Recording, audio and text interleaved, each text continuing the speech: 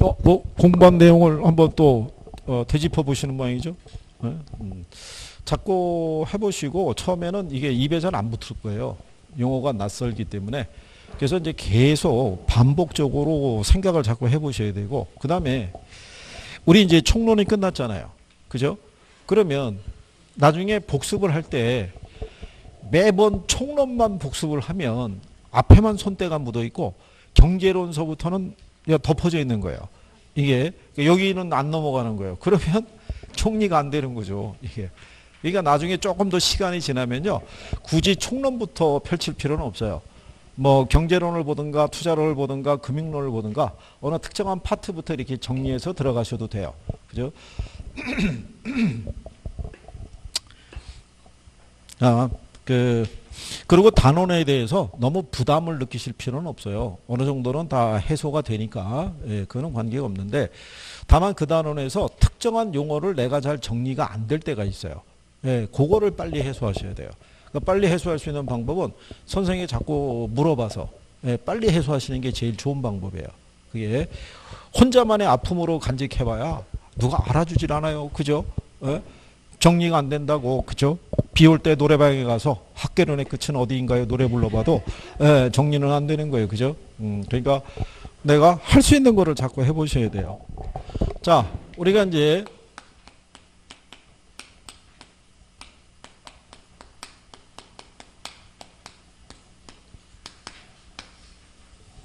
음, 경제론을 배우실 때요. 어, 여러분들이 보시면 주식시장의 주가라든가 일반적인 상품에 대한 가격이라든가 시장에서의 이자율이라든가 자, 이 주식시장의 주가는 뭐에서 결정이 되겠어요? 주가. 예? 일반적인 상품의 가격. 그 다음에 시장 이자율 있죠. 예, 뭐에서 결정이 된다. 이게 그게 수요와 공급에서 결정이 되는 거예요. 기본적으로. 그렇기 때문에 시장을 분석하기 위한 가장 기본적인 도구로 쓰는 게 수요 공급 이론이에요. 그래서 여러분들이 이 경제론에서 이 단원 구성이 어떻게 되어 있냐면요. 음, 첫 번째가 수요 공급 이론이 있고요. 두 번째가 경기 변동이 있어요. 이렇게 예, 그래서 요두 가지가 시험 목차다라고 생각하시면 돼요. 그러면 요 수요 공급 이론에서는요. 다시 우리가 세분하게 되면 음, 수요와 공급의 어떤 이제 기초, 그 다음에 수요와 공급의 변화 요인, 그 다음에 이제 수요와 공급의 균형, 그 다음에 수요와 공급의 탄력성. 네, 이렇게 한네개 파트로 돼 있다고 보시면 돼요. 이렇게 음, 그래서 수요 공급 이론에서 평균적으로 한 네 문항 정도 이렇게 형성이 되고요. 그 다음에 여기 수요와 공급의 균형하고요. 수요와 공급의 탄력성이 있죠. 여기는 이론도 낼 수 있고 계산 문제도 낼 수 있어요. 여기 두 가지가. 그러니까 경제론에서는 계산 문제가 한 문제에서 두 문제 정도 들어온다고 생각하시면 되겠고요. 그 다음에 요 경기 변동에서는요. 경기 변동하고 거미집 이론하고 이렇게 두 가지가 명시가 되어 있어요. 이렇게. 그래서 수요 공급 이론에서 평균적으로 네 문항, 경기 변동에서 한 문항. 그래서 일반적으로 경제론이 한 다섯 문항 정도의 출제 비중을 갖고 있다. 이렇게 예, 생각하시면 될 거예요. 그래서 이제 기본적인 것부터. 그래서 우리가 이제 제일 먼저 수요 공급 이론을 먼저 배우실 때 제일 처음에 나오는 게 뭐예요? 그게 수요예요. 수요. 자, 수요를 보시게 되면요. 경제 주체인 소비자가 그 일정 기간 동안에 모든 가격 수준에 대응해서 재화 서비스를 구매하고자 하는 욕구를 말한다라고 얘기를 해요. 그죠? 예. 그런데 음, 여기 보시면은 이 경제학에서 얘기할 때 수요라는 것은요. 일정 기간 동안에 시장에서 주어진 모든 가격 수준에 대응해서 소비자가 구매하고자 하는 욕구. 그 욕구를 다른 말로 뭐라고 그러냐면 계획이라고도 얘기를 해요. 자, 여러분들이 이제 마트에 가서 가령 예를 들어서 그 71페이지 상단에 가게 되면 A 상품에 대한 수요표라고 나와 있죠. 그렇죠? 예. 그러면 특정한 상품의 가격과 그 다음에 한 달간의 상품 소유량이 이렇게 명시가 돼 있어요. 그죠? 그 만약에 사과가 제철이라고 해서 사과를 사야겠다라고 마트를 가요. 그죠? 근데 마트에 갈 때 보면은 그날 그날의 사과 가격이 조금 다를 수 있어요, 없어요? 어, 다를 수 있죠. 그러면 그 가격에 따라 내가 소비할 수 있는 양의 크기가 달라질 수 있어요, 없어요? 그럼 갈 때 이제 구정을 하죠. 사과 한 알에 천 원이라고 그러면 한 다섯 개 아, 산다라고 생각을 하고요. 만약에 이천 원씩 한다 그러면 그럼 맛만 봐야지. 그래서 한 두 개, 아, 세 개만 사갖고 와야지. 이런 계획을 세울 수 있어요, 없어요? 있겠죠. 그래서 특정한 상품에 시장에서 제시하는 모든 가격 수준에 대응해서 소비자가 구매하고자 하는 어떤 욕구이자 계획을 수요라고 그러고요. 그 수요가 구체적인 양으로 나타나는 것을 수요량이라고 얘기를 해요. 근데 어느 날 마트에 갔더니 사과 한 알의 가격이 500원으로 나올 수가 있을 거 아니에요. 500원일 때는 한 20개 정도 살 수 있다. 그러면 그 특정한 가격에 맞춰서 소비자가 구입할 수 있는 최대 수량을 수요량이다라고 얘기를 해요. 그래서 이제 그거를요. 그림에서 이렇게 보시게 되면요. 음, 가령 예를 들어서 200원일 때는 예를 들어서 20개를 이렇게 소비한다고 가정하고요. 음, 가령 예를 들어서 250원으로 올라가게 되면은 15개만. 그 다음에 얘가 150원으로 떨어지면은 몇 개를? 25개를. 이런 식으로요. 시장에서 주어진 모든 가격이 있죠. 이 모든 가격에 대해서 소비자가 소비하겠다는 계획을 전체적으로 나타난 게 이렇게 하나의 곡선으로 표시할 수가 있어요. 근데 시장에 갔더니 그날 가격이 얼마로 결정이 돼 있을 때 200원으로 결정이 됐을 때 소비자가 소비할 수 있는 최대 수량이 몇 개? 20개죠. 특정한 가격을 기초로 소비자가 소비할 수 있는 최대 양으로 표시할 수 있는 거를 그거를 수요량이라고 표시를 해요. 자, 그래서 그 수요량에 대한 것에서는 시험 지문으로 한번 나온 적이 있어요. 그래서 여기 일반적인 수요는 모든 가격 수준에 대응하고요. 수요량은 특정 가격 수준에 대응한다라고 보시면 될 거예요. 처음에 수요하고 수요량까지 이렇게 뭐 많이 구별하실 필요는 없고요. 일단 소비자가 소비하겠다는 뭐를 나타, 아, 나타낸다. 욕구이자 계획이라고 생각하시면 돼요. 그런데 이런 수요가 가지고 있는 성격이 있어요. 아, 성격을 보면요. 제일 먼저 무슨 개념이라고 나와 있어요? 네, 사전적 개념이라고 나와 있어요. 요거는 사전적 개념이라는 건요. 특정한 가격을 기초로 해서 구매가 완료된 걸 지칭하면 틀리는 거예요. 이건 말 그대로 계획일 뿐이에요. 그죠? 실제로 내가 세운 계획과 실제로 소비한 양은 달라질 수 있어요, 없어요? 달라질 수 있다는 얘기예요. 그죠? 우리나라 저기 평창 올림픽이 어 작년에 개최가 됐었나요? 2018년에? 만약에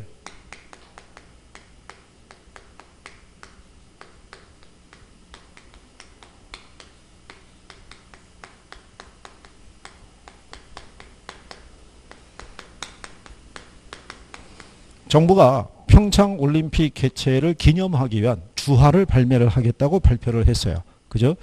그러면 실상 우리나라에서 동계 올림픽을 개최하기는 이후로는 쉽지 않을 거예요. 그죠? 예, 그래 뭐 100년 이내에는 다시 개최하기도 어렵다. 뭐 이렇게 나올 수도 있는 거죠. 이것 또한 삼순과 사수 해가지고 따냈을 거예요. 그죠? 자, 그럴 때 그러면 소비자들 입장에서 보면 이 기념주화라는 건 상대적으로 내가 소유할 만, 소장할 만한 가치가 있다고 생각할 수 있어요, 없어요? 있죠. 그러면 자, 소비자들은 A라는 사람은 나오면 100세트 사놔야지. B는 50세트를 사놔야지. 예를 들어서 뭐 E는 뭐 10세트 정도를 사야지. 이런 식의 뭐를 가지고 수립할 수 있어요. 어, 계획을 수립할 수 있는데. 근데 정부가 이거를 발매할 때 대부분의 기념주화는 한정판이 발행, 아, 발행이 되죠. 그러니까 한 5천 세트 정도 발행할 계획이에요. 그런데 이거를 발매하면서 수량에 제한을 두지 않으면 한두 사람이 독점해서 다 소유할 수 있어요 없어요? 있으니까 가급적이면 많은 사람들이 소유하게 하기 위해서 정부는 제한을 두죠. 1인당 두 세트만 구매할 수 있다고. 그러면 이 사람들이 세운 계획은 이렇지만 실제로 소비한 양은 두 세트밖에 소비할 수 없을 거 아니에요. 그러니까 여기서 얘기하는 수요라는 거는 특정한 재화를 기초로 구매하겠다는 욕구이자 계획을 나타낸 것이지 그 특정한 가격을 기준으로 얘를 실질적으로 소비한 양을 나타낸 것은 아니란 얘기예요. 그래서 무슨 개념이라고 그런다? 차전. 이게 올해 시험에 나온 거예요. 이 수요라는 것은 음, 이미 소비가 어떻게 돼요?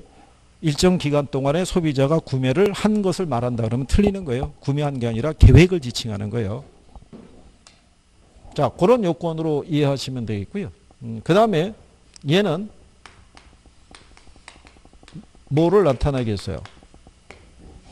예, 여기서 얘기하는 수요는요, 유효 수요예요. 그러니까 우리가 여기서 얘기할 때 이렇게 수요 얘기하잖아요. 이 수요는 별다른 언급이 없으면 유효 수요를 지칭하는 거예요. 수식돼 있는 거예요. 그죠? 그러니까 유효 수요의 의미는요. 모든 재화를 지칭하는 게 아니고요. 특정한 상품이 있죠. 예, 특정한 상품을 구매하고자 하는 뭐는 욕구라는 거는 그 상품을 구매할 수 있는 뭐를 수반해야 돼요. 구매력을 수반을 해야 돼요. 이 구매력이라는 것을 다른 말로 지불 능력이라고 얘기를 해요. 그렇죠? 그래서 이 구매력에 관한 거는 여러분 시험에 한 두세 번 인용이 됐어요. 그러니까 예서 이런 거예요. 부동산 수요는 반드시 구매력을 수반해야 돼요, 안 해야 돼요? 네, 반드시 구매, 이거를 수반해야 돼요. 구매력을 필요로 하는 건 아니다, 그러면 틀리는 거예요. 또 부동산 수요는 반드시 유효 수요일 필요는 없다 그러면 틀리는 거예요. 반드시 무슨 수요에 돼요? 유효 수요에 된다는 거죠. 그래서 요 구매력에서 뒷받침이 돼야 된다는 거. 그 다음에 이제 어, 경제학에서 얘기할 때는요. 이 개념을 이제 지칭을 해요. 무슨 개념을? 그러니까 유량이라는 건요. 수량의 흐름을 나타내는데요. 이거는 뭐가 명시가 됐을 때 예, 기간이 명시가 됐을 때 그 양의 크기가 많다 적다가 구별이 될 수 있어요. 그죠?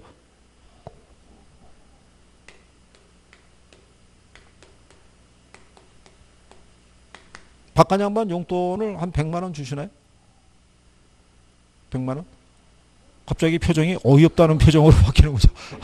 이게 어떻게 모든 학원마다 공통의 표현이에요. 한 100만 원 주시나요? 그러면 이런 말도 안 되는 뭐 이렇게 나가는 거예요. 그럼 한 50만 원 주세요. 예? 아, 남편이 또 갖고 있다. 뭐 그런 게 드문 케이스도 있군요. 어, 그래요. 50만 원 정도로 떨어뜨리면요. 뭐라고 얘기하냐면 하는 거 봐서 뭐 이런 얘기예요. 그러니까 여기서부터 탄력적으로 운영이 되나 봐요. 그죠? 네. 근데 이 용돈이라는 게 한 달이라고 그러면 많다고 생각이 되는데 1년 용돈이 100만 원이면 어떻게 돼요? 어?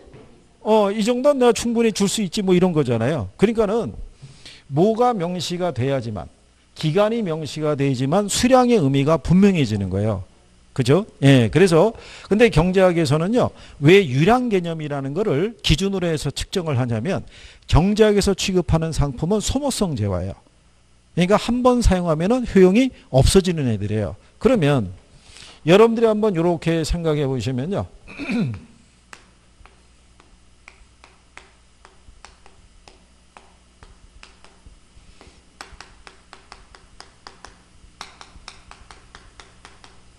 작년에도 시장에 사과는 공급이 됐어요. 그죠? 사과는. 근데 올해도 사과는 공급이 됐죠. 네, 그러면 작년에 공급된 사과는 지금 어떻게 되겠어요? 거의 없겠죠. 그죠? 네, 올해 소, 네, 공급된 사과도 올해가 지나면은 다 소진돼서 없어질 거란 얘기예요. 그죠? 그러니까 이렇게 소모성 재화를 취급하는 데에서는 뭐를 기준으로 일정한 기간을 기준으로 어느 기간에 어느 만큼 생산하고 소비했냐를 판단하는 게 더 중요하다고 할 수가 있어요. 그죠? 근데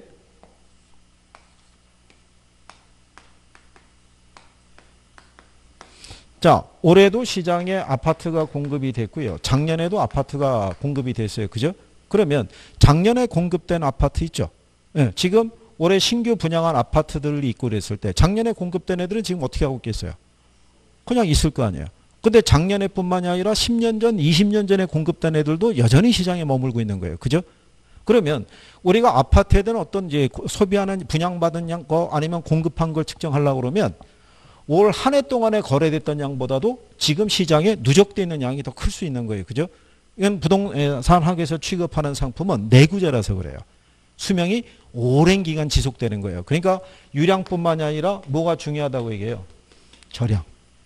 그래서 절량이라는 것을 우리가 측정하려고 그러면요. 뭐가 주어져야 돼요?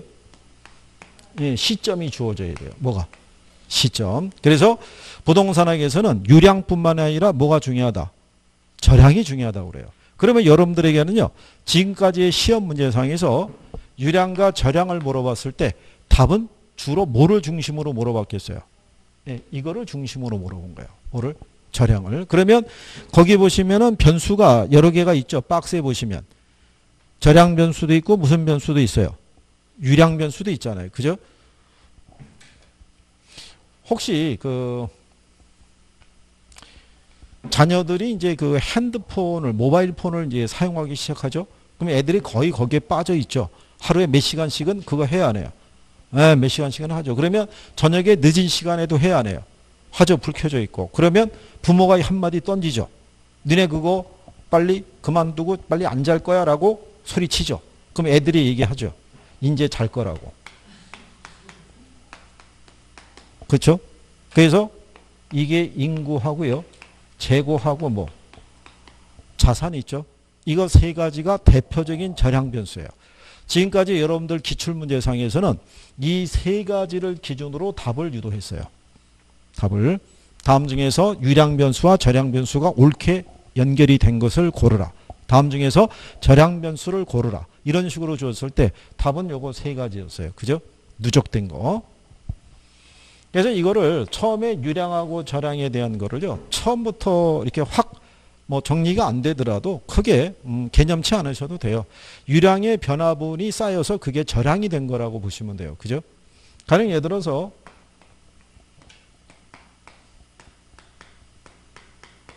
(2019년 11월) 현재 서울시의 주택이 가령 예를 들어서 뭐 천만 채 정도 된다라고 가정하자고요. 그러면 이 전체 총량을 우리가 파악하기 위해서는 뭐가 주어져야 돼요? 시점이 주어져야 돼요. 이 시점을 기준으로 했을 때 이 천만 채라는 양을 측정할 수 있어요. 뭐가 제시가 되면 알 수가 없어요. 기간이 명시가 되면 알 수가 없어요. 그죠? 2017년 한 해, 2018년 한 해 이렇게 1년 단위로 일정한 기간을 기준으로 측정하면은 전체 총량을 계산할 수가 없을 거 아니에요. 그죠? 그런데 요 천만 채 중에서 3년 전에 공급된 주택의 양이 몇 채냐를 찾을 때는 뭐가 주어져야 돼요?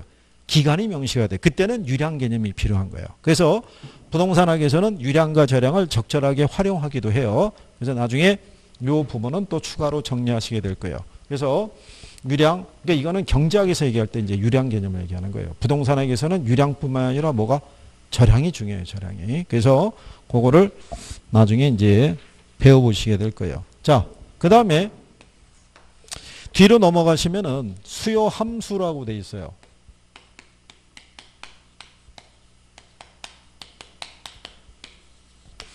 아, 수요 함수라는 것은요. 어떤 재화에 대한 수요와 그 재화의 수요에 영향을 주는 요인들 간의 관계를 함수 형태로 나타낸 거예요.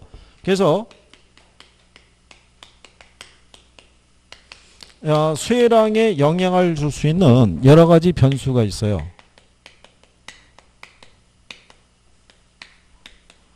해당 재화의 가격이라는 것도 있고요. 예, 그 다음에 뭐 소득이라는 것도 있고요. 그 다음에 관련 재화의 가격 뭐 이런 애들이 있어요. 자, 그랬을 때 이제 여기서 보면 용어가 주어져 있어요. 여기 보면 무슨 재화? 해당 재화, 무슨 재화?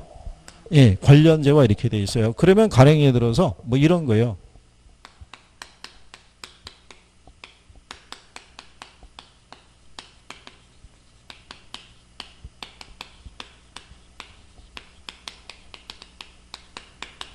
문제가 이렇게 나오죠.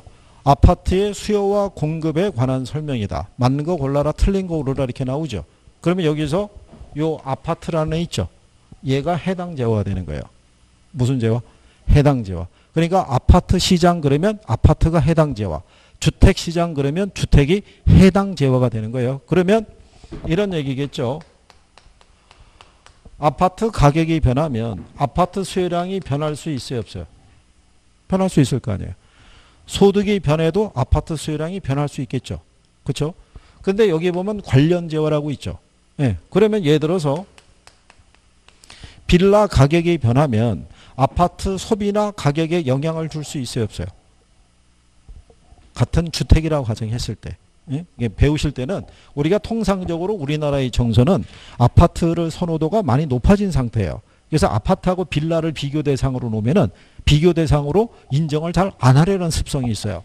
내가 왜냐하면 분양을 받으면 주로 뭐를 선호하니까 아파트를 선호하니까 그렇죠. 그런데 여기서는 경제학에서는 같은 재화로 보는 거예요. 얘도 주택이고 얘도 주택이니까. 그죠? 그러면 빌라의 가격이나 단독주택의 가격이나 이런 게 변하면 아파트의 소비나 가격에 영향을 줄 수 있는 애들을 무슨 재화? 그걸 관련 재화라고 그래요. 근데 만약에 시장에서 콜라 가격이 변하죠. 콜라 가격이 변하면 아파트의 가격과 소비에 영향을 줘요, 안 줘요? 안 줄 거 아니에요. 걔들은 다른 재화라고 얘기하는 거예요. 무슨 재화? 다른 재화. 그러면 여러분들이 보시면 수요 측면에서는 얘가 중요한 거예요. 뭐가? 관련 재화에. 그죠? 이 관련 재화의 가격의 변화에 따라 해당 재화의 가격과 소비에 영향을 미친다고요. 그죠? 그러니까는 나중에 중개업을 하시는 분들의 입장에서는 그 지역의 특정한 예를 들어서 부동산에 대한 선호도가 증가하죠. 그게 주변 다른 부동산에도 영향을 준다 안 준다 주는 거예요. 그러니까는 그런 부분의 변화를 알아야 되기 때문에 수요 측면에서는 얘가 중요한 거예요. 관련재와의 가격이. 자, 그런데 여기서 보시면 이 가격은 변해야 안 변해요? 변할 수 있겠죠. 아파트 가격은. 그러면 아파트 수요량이 변할 수 있죠. 그러면 소득은 변할 수 있어요, 없어요? 변할 수 있겠죠. 그러면 아파트의 소비에도 영향을 주겠죠. 자, 빌라나 단독주택의 가격도 변할 수 있죠. 그럼 얘가 또 변하겠죠. 그래서 얘네는 하나하나가 변함에 따라 얘를 변화를 시켜요. 그래서 얘네를 독립변수라고 그래요. 무슨 변수? 예, 독립변수. 그러면 얘네 하나하나가 변하면 얘가 변하겠죠. 이 수혜량이. 그래서 얘를 무슨 변수라고 그런다? 얘를 종속 변수라고 그래요. 무슨 변수? 종속 변수. 자, 그러면 한번 이렇게 따져보자고요.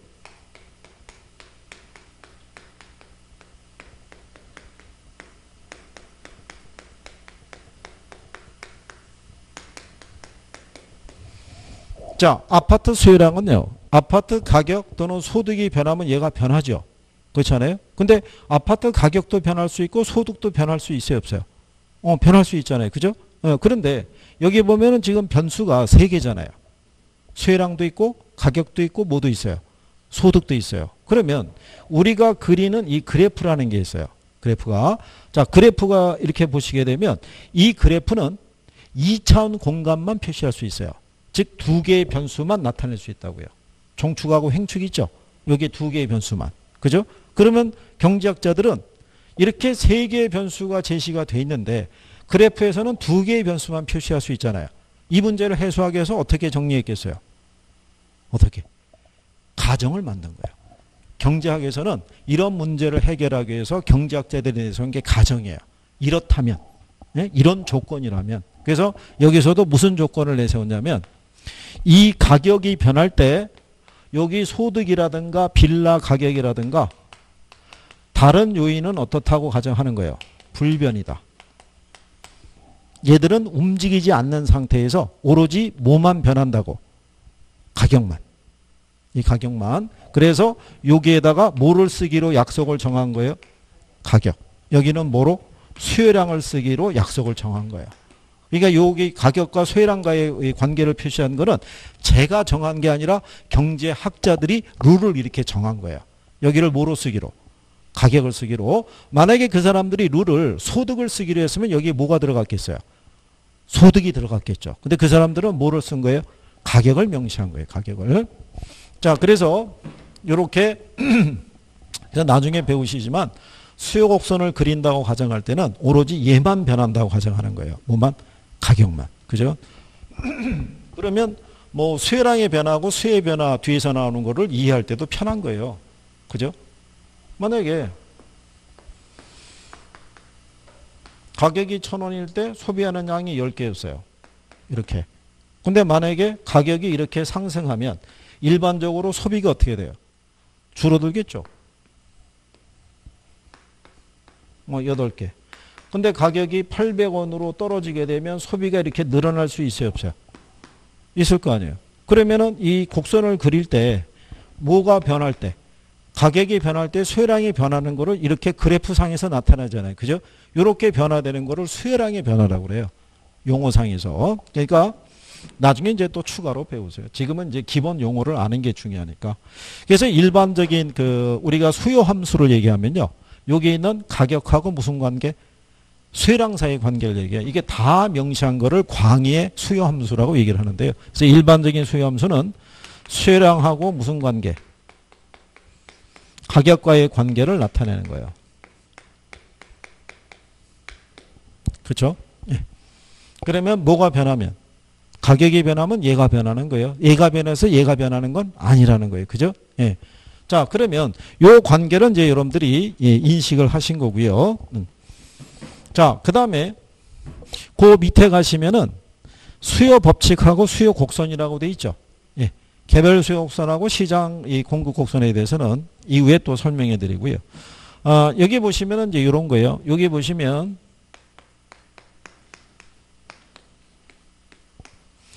임의의 수요 함수가 제시가 되는 거예요. 수요 함수가. 요거는 어디서 나온 거냐면 제가 임의로 쓴 거예요. 그죠? 네. 그 얘기 없이 쓰면은 갑자기 얘가 어디서 나왔는지 저기서부터 찾기 시작하는데 어 그러질 필요는 없다는 얘기예요. 그죠? 그러면 여기 보면은 요 수혜량이라는 게 현재 미지수죠. 얘가. 그렇잖아요? 그러면 이 수혜량의 크기는 어디에서 결정이 되냐면 이 가격에서 결정이 된다는 거예요.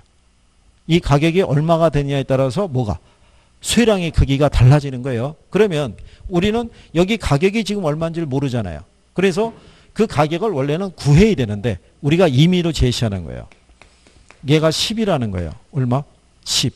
그러면 대입을 하게 되면 110 마이너스 2 곱하기 10의 논리잖아요. 그죠? 그러면 110에서 20을 빼면 90 나오겠죠. 그러면 이때 수혜량은 얼마가 되는 거예요?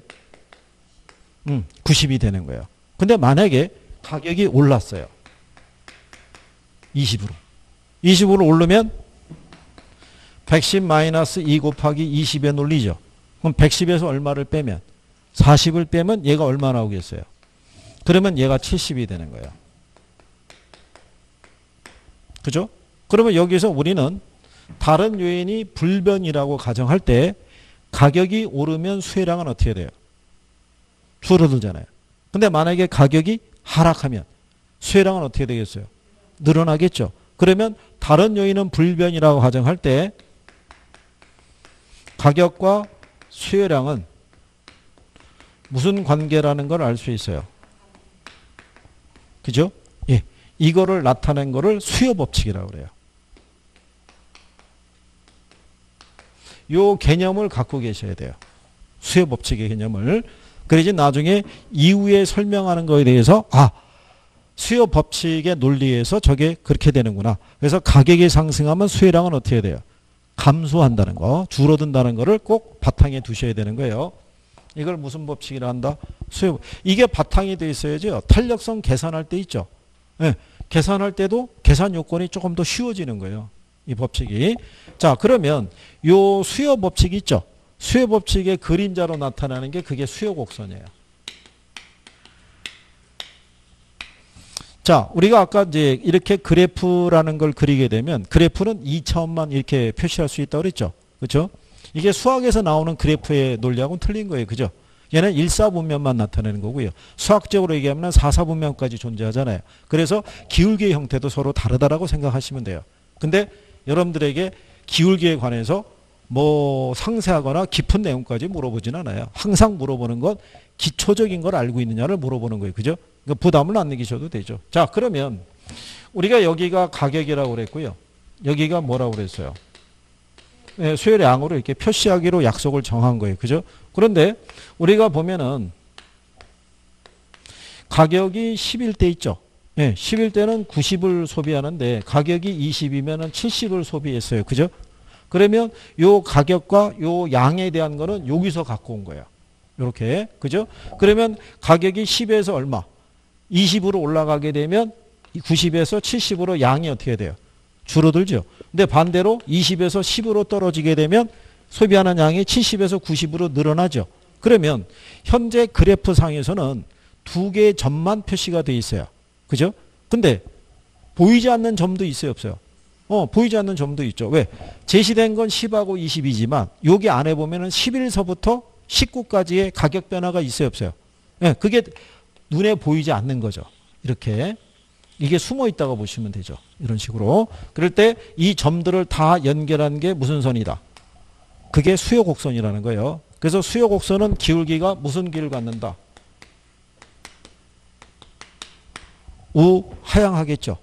우측으로 점점 점점점 내려가는 이유는 가격하고 수요량이 무슨 관계니까? 반비례 관계니까. 그걸 그래프로 나타낸 걸 수요 곡선이라고 얘기하는 거예요. 근데 요 수요 곡선이 이렇게 우하향하는 기울기를 나타내는 것을 설명하는 논리가 다양하게 있어요. 그게 그래서 한계용 체감의 법칙이라는 것도 존재하고요. 그죠? 뭐 기회병이라든가 무차별 곡선의 모형이라든가 아니면 대체 효과하고 소득 효과 있죠. 뭐 이런 거로도 설명이 가능한 거예요. 그죠? 여러분이 보시면요. 음, 제과점에 가면은 빵 있죠. 빵이 있는데 빵 하나가 천 원이에요. 천 원, 이천 원일 때 빵 한 개 처음에 배고플 때 먹으면은 만족감이 크죠. 그죠? 근데 만약에 두 개를 먹으면 포만감에 의해서 처음에 먹었을 때보다는 포만감이 좀 떨어지겠죠. 그렇잖아요. 그럴 때 빵을 한 개 사도 천 원이고요. 두 개 사면 이천 원 내야 된다 그러면 사람들이 소비를 줄이려고 그럴 거예요. 그렇잖아요. 그러니까 두 개씩은 잘 산다 안 산다? 안 사죠. 그럴 때 제과점에서 선택할 수 있는 방법, 잘 쓰는 방법이 뭐예요? 원 플러스 원. 마트에 가도 원 플러스 원이 있어요 없어요? 있는 거예요. 가격을 낮춰주면 소비가 늘어나요. 무슨 말인지 아시겠어요? 그 이유는 뭐냐면 첫 번째 소비보다는 두 번째 소비할 때 효용이 체감해서 그래요. 그러니까 가격을 낮춰주면 사람들은 자기가 줄어드는 그 효용에 대한 거를 가격이 인하된 걸로 대체하면서 소비하는 거예요. 그래서 그게 대부분의 마트에서 쓰는 가격 전략이 그거예요. 하나 더 준다는 거. 그것 때문에 사람들은 불필요 당장 거기까지 그 양까지는 필요 없는데도 불구하고 집어요 안 집어요? 집는 거예요. 원래 계란 한 판에 만 원이었는데 두 판 사면은 만 팔천 원 해준다 그러니까 싸잖아요. 그러니까 두 판을 사는 거예요. 그죠? 그리고 한 달 내내 아이들 계란만 먹이는 거예요. 그냥 쫙 해서 소비해야 되니까. 뭐 그렇게 하는 거죠. 뭐 다른 게 뭐 있겠어요. 자, 그래서 그런 내용인 거예요. 그래서 음, 수요 법칙하고 수요 곡선은 거의 같이 가는 개념이라고 생각하시면 돼요. 그래서 나중에 예, 요 과정에 대한 것도 꼭 알아두셔야 돼요. 그죠? 예, 그래서 뭐 여기까지는 무슨 말인지는 아시겠어요? 네, 그래요. 그럼 뭐 충분히 잘할 수 있겠네요. 그죠? 기초적인 뭐 실력이 있으니까. 그죠? 음, 그래요. 좀 이따가 이제 실체가 드러나는 거죠. 지금은요, 뭐 얘기하면은 표정도 여유가 있고 모든 걸 이해하는 표정으로 가요. 그러다 선생이 불안하니까 중간에 테스트를 한 번씩 해요. 테스트를. 예, 그러면 이제 그때 진실 게임이 시작이 되는 거예요. 진, 해서 여기서의 표정과 나중에 답안지의 표정이 틀린 거예요. 그죠? 그 빨리 자수하는 게 좋은 거예요. 에? 예? 표정 관리만 하고 있다고 그래가지고 이게 해결이 되는 게 아니라고요. 그죠? 지금은 초기 단계이기 때문에 인원도 별로 없고 그러니까 지금은 선생하고 이렇게 대면하는 형식이잖아요. 그죠? 앞에 누가 가려주는 사람이 없잖아요. 그죠? 근데 가려주더라도 보이긴 다 보여요. 그죠? 그러니까 어쩔 수 없이 그냥 이해가 안 돼도 이해가 되는 것처럼 액션을 할 필요는 없다는 얘기예요. 지금은 빨리빨리 해소하는 것이 여러분들에게 득이 되는 거예요. 시간이 그 시간은 금방 간다고요. 벌써 저희가 두 번째 수업하고 있잖아요. 그죠? 네. 조금 있으면 몇 월이 가는 거예요. 12월에 이제 가는 거예요. 그러면 이제 12월이 도래하죠. 그럼 12월 달에 여러분들하고 저하고 네 번 만나면 12월이 끝나면서 2020년이 시작이 되는 거예요. 그렇죠? 어, 그냥 휙 가는 거예요, 휙. 그죠? 어. 그 2020년 들어가지고 여러분들하고 저하고 한 40번 보면 끝나는 거예요. 그렇잖아요. 한 주에, 한 달에 네 번이니까. 4주 오잖아요, 4주. 그렇잖아요. 그 40번 안에 여러분들은 다 끝내고 가야 되는데 40번까지 1차를 끌고 갈 수는 없잖아요. 그 이전에 다 끝내야 된다고요. 그러니까 여러분들이 바쁘신 거예요. 자, 그 다음에, 음, 거기 교재에 보시게 되면 수요 법칙하고, 아, 수요량의 변화하고 수요의 변화라고 있죠? 73페이지 중간 박스 밑에 보면. 거기는 별표 하시는 거예요. 별표 돼 있죠? 예. 시험에서 꾸준히 물어보는 거예요. 번호는 5번으로 되어 있고요. 음, 교재 보시면 수요량의 변화하고 뭐가 있다.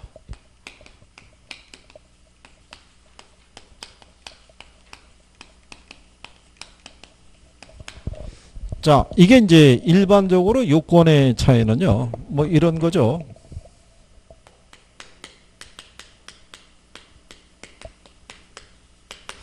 A 중개사 학원이 있는데요. 학원 수강료를 50%를 할인을 해서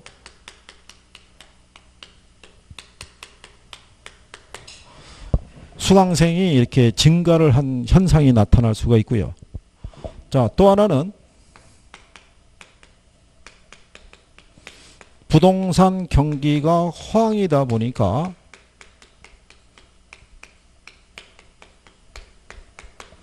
일반적으로 이 공인중개사 학원에서는요. 부동산 경기가 살아나면 수강생이 늘어나요. 예, 그 왜냐면 자격증을 취득한 옆집 사는 그 분이 중개업을 영위하는데 경기가 좋으니까 수술에 따른 수입이 아주 큰 거예요. 그죠? 그래서 이번에 뭐 차도 바꿨다는 등 뭐 이렇게 해서 더 넓은 평형으로 한다는 등 그거를 보고 있으면 우리나라 전형적인 속담에 사돈이 땅만 사도 배가 아픈데 옆집 여자가 돈을 많이 번다는 것은 용납할 수가 없죠. 그러면 나도 어떻게 돼요? 등록해야 되는 거예요. 그죠? 그렇잖아요? 그럼 여기에 공통적인 게 뭐가 증가하는 거예요? 수강생이 증가하는 건 똑같은 거예요. 그죠? 자, 그런데 얘들이 증가하는 이유가 틀리잖아요. 여기는 뭐가? 수강료가 할인이 된 거예요. 근데 여기는 뭐가 좋아서? 경기가 좋아서. 그렇죠? 예, 그러면 요게 무슨 차이가 있냐면요. 이런 거예요. 자, 가령 예를 들어서 아파트에 대한 예를 들어서 가격 또는 분양가라고 얘기하자고요. 요게 하락해요. 자, 분양가가 하락을 하게 되면 수요량이 늘어날 수 있어요, 없어요? 자, 여기 보면은 얘가 하락했죠. 하락했더니 얘가 증가했죠. 왜 그럴까요? 어? 얘가 하락했더니 얘가 증가하잖아요. 왜? 지금 했잖아요. 무슨 법칙? 수요 법칙. 수요 법칙이라는 건 가격과 수요량이 반비례인 거야. 그러니까 얘가 하락하면 수요량이 증가하고요. 얘가 상승하면 수요량이 어떻게 돼요? 줄어드는 거예요. 그죠? 자, 그러면 얘가 하락하게 되면 수요량이 어떻게 돼요? 증가하잖아요. 그죠? 네, 그러면 그림에서 보면 이렇다는 얘기예요. 원래 분양가가 평당 천만 원이었고요. 천만 원일 때 사람들이 한 천 채 정도를 이렇게 분양을 받았어요. 그죠? 예. 그래서 이런 식으로 이렇게 수요 곡선이 그려져 있었을 때 요게 분양가가 800만 원 선으로 떨어졌어요. 떨어졌더니 분양에 대한 신청이 늘어나면서 1,500채로 늘어났어요. 요렇게. 그죠? 그러면 지금 뭐가 하락한 거예요? 가격이 하락했잖아요. 그래서 뭐가? 수요량이 어떻게 돼요? 증가했죠. 그러면 요 가격이 변해도 뭐는 변하는 거예요? 수요량은 변하는 거예요. 근데 가격의 변화에서 수요량이 변하는 것 있죠. 예, 걔를 용어상에서 뭐라고 얘기한다? 그거를 수요량의 변화라고 그래요. 뭐가 변해서? 가격이 변해서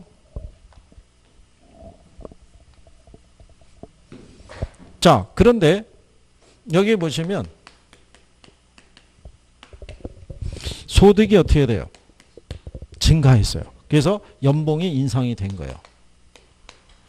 그래서 뭐가 늘어날 수 있어요? 네, 수요량이 증가할 수 있는 거죠. 자, 아파트 가격이 하락해서 아파트 수요량이 늘어날 수 있고요. 소득이 증가해서 아파트 수요량이 늘어날 수 있어요, 없어요? 있다는 얘기죠. 그러면 가격이 아니라 가격 이외의 요인이 변해도 수요량은 변할 수 있는 거예요. 그죠? 그거는 똑같은 거예요. 그러면 이렇게 될 거라는 거죠. 분양가가 천만 원이고요. 천 채를 소비를 해요. 자, 이렇게 돼 있을 때 분양가는 그대로 천만 원인데 그죠? 요렇게 아파트에 대한 소비가 요렇게 늘어나는 거예요. 그러면 여기도 틀림없이 뭐는 증가한 거예요. 네, 수혜량은 증가한 거예요. 그죠? 뭐가 변하지 않았음에도 가격이 변하지 않았음에도 근데 그 이유 중에 하나가 뭐가 증가해서 소득이 그러면 이거를 이 선에서는 표시할 수가 없죠. 선에서는 얘가 이동하지 않았으니까 그렇잖아요. 그래서 이 변화를 간접적으로 표시해 주기 위해서 경제학자들이 선을 새로 하나 그린 거예요. 이렇게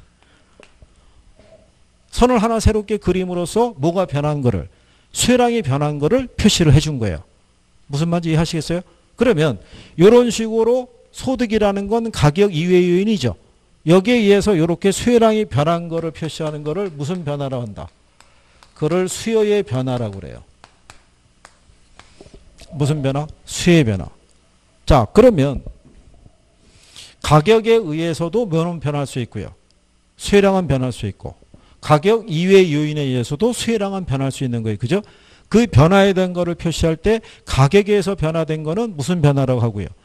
수요량의 변화라고 하고 그 다음에 가격 이외의 요인에 의해서 변한 거를 뭐라고 그런다? 그를 용어상에서 수요의 변화라고 얘기를 해요. 그죠?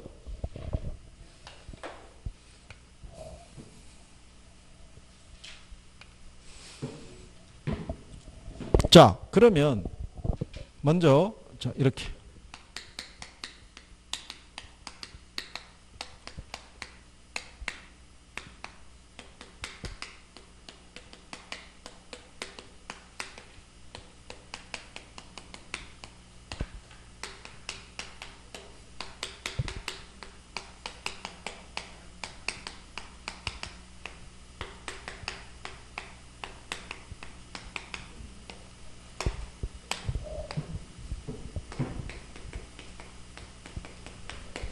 여러분 시험에 나온 거예요. 자, 지문이 수요 곡선의 이동으로 인해 수혜량이 변하는 경우 있죠. 네, 이거를 수혜량의 변화를 한다, 수의 변화라고 한다. 자, 뭐가 이동해서요? 곡선이 이동해서 뭐가 변해요? 수혜량이 변하죠. 근데 여기 간만에 보시면은 이렇게 가격의 움직임에서도 수혜량은 변하죠. 가격 아닌 애가 변화도 이렇게 수혜량은 변하죠. 근데 여기 뭐 둘 중에 두 개를 비교해 보시면 어느 게 곡선이 이동해요? 곡선이 이동하는 거. 얘잖아요. 얘는 우측으로 이동했잖아요. 여기 애들은 하나의 곡선이 있죠. 요 곡선상에서 이렇게 점의 이동이 발생하죠. 근데 요즘은 점이라는 표현을 안 써줘요. 점이 집어넣으면 너무 뚜렷해지니까. 원래 요 수혜량의 변화를 표시할 때는요. 이렇게 표시해요. 동일한 수요 곡선상에서의 무슨 이동? 점의 이동이라고 이렇게 표시하는 거예요. 그러면 요건 선이 하나의 선이죠. 하나 동일한 선이잖아요. 동일한 선에서 뭐가 변해서 가격이 변해서 여기 있는 이 점에서 원래 있던 이 점에서 이 점으로 지금 이동했잖아요. 그죠? 이렇게 이동한 걸 나타내는 것을 우리는 용어상에서 수혜량의 변화라고 얘기하는 거예요. 그죠? 네, 근데 동일한 수요 곡선상에서의 무슨 이동? 그러니까 이 점에서 이 점으로 갔잖아요. 그러니까 점의 이동이라고 얘기하면 워낙 뚜렷하게 구별이 되잖아요. 그래서 출제자들이 점을 수술한 거예요. 점을 빼버리는 거예요. 그러니까는 곡선 상에서의 이동이라고만 얘기해 주는 거예요. 무슨 이동? 곡선 상에서 이동. 근데 여기는 보면은 뭐가 이동한 거예요? 곡선 자체가 이동했잖아요. 자체가. 곡선이 이동했다는 얘기는 뭐는 그대로란 얘기예요. 그렇죠. 가격은 그대로인데 뭐가 변해서 소득이 변해서 소득 등이 변해서 이 수혜량이 변한 거예요. 그죠? 그는 우리가 무슨 변화를 한다? 수혜의 변화. 그래서 수요 곡선의 이동으로 수혜량이 변하는 경우 이걸 우리가 무슨 변화를 한다? 수혜의 변화라고 얘기하는 거예요. 그죠? 음, 초기에 요 개념에 대한 것부터 정리를 잘 해두셔야 돼요. 이거부터. 얘가 정리가 되면요. 뒤에 가면은 공급량의 변화고 공급의 변화가 있어요. 걔도 똑같아요. 요건은. 공급량의 변화를 가져다 주는 요인은 뭐겠어요? 해당 재화의 가격 하나밖에 없어요. 여기 지금 아파트 가격이죠. 그럼 아파트, 이게 아파트 가격이면 얘가 뭐라고 했어요? 해당 재화라고 그랬죠. 어, 이 가격이 변할 때 이 수혜량이 변하는 거예요. 그죠? 그러면 나중에 여러분들에게 실전에서 어떻게 준 적이 있냐면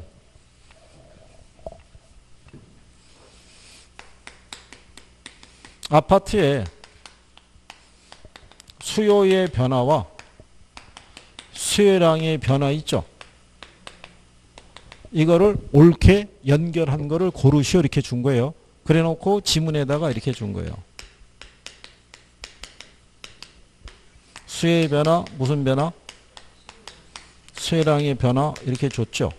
그러면 1번 지문에 뭐가 변하거나 소득이 변하거나 그렇죠? 음, 여기는 뭐가 변하거나 기호의 변화 뭐 이런 거 주고요.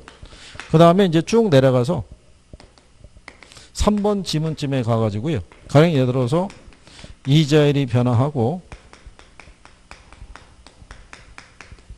아파트 가격이 변화했다 이렇게 줬어요. 그죠? 그러면 여기서 이 수요의 변화를 유도하는 요인은요. 무진장하게 다양해요. 다양한데 여기 있는 요 수요량의 변화를 주는 요인이 있죠. 이거는 뭐 하나밖에 없다.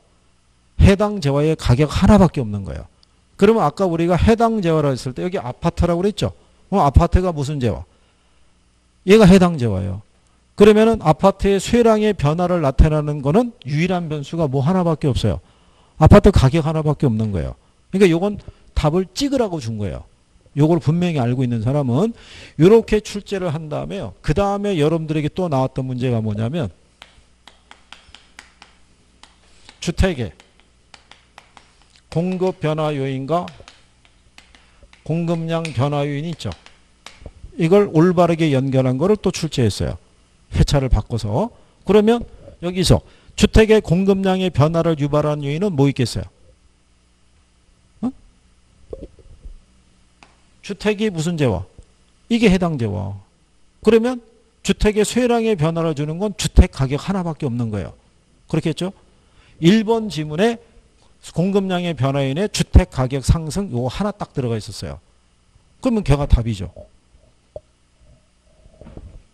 그래서 아까 여러분들에게 해당 재와 이거를 설명을 해드린 거예요. 예, 그게 돼야 문제가 이런 게 나올 때는 간단하게 답을 풀 수 있는 거예요. 그죠? 무슨 말인지 아시겠나요? 그러니까 여기서 요 수혜량의 변화를 가져다 줄 수 있는 거는 해당 재화에 뭐밖에 없다는 거예요. 가격 하나밖에 없는 거예요. 해당 재화에 대신에 수요의 변화를 가져다 두는 요인은 가격 위에 다양한 변수들이 있죠.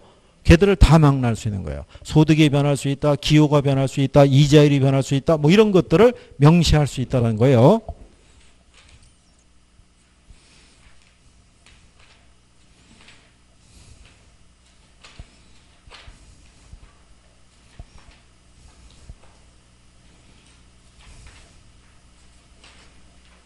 자, 여러분들이 114페이지 한번 가보세요. 자, 거기 가면은 5번 문제 있죠? 찾으셨나요? 114페이지. 자, 5번 같잖아요. 5번 보시면 주택 공급 변화인과 공급량 변화인이 옳게 묶인 걸 물어봤죠. 그죠? 자, 그런데 공급량 변화 요인은 뭐 하나밖에 없다 그랬어요. 해당 재화의 가격밖에 없어요. 그 여기서 해당 재화는 뭐겠어요? 주택이에요. 그러면은 공급량 변화 요인을 가서 주택 가격만 찾으면 되는 거예요. 그렇죠? 그랬더니 1번 지문에 뭐가 있어요? 주택 가격 상승이라고 있잖아요. 그 답이 1번인 거예요. 그죠? 그러면 그 밑에 6번을 가면 아, 요건 아니고. 자, 그래서 이렇게 이제 여러분들에게 음, 출제를 했던 선례가 있어요. 그죠?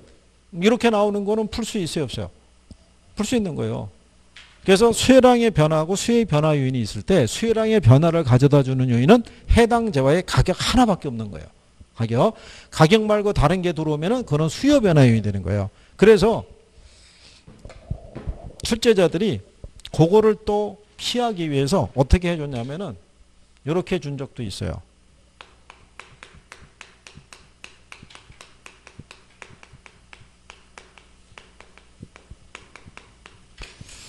아파트의 가격 상승이 예상되는 경우 있죠.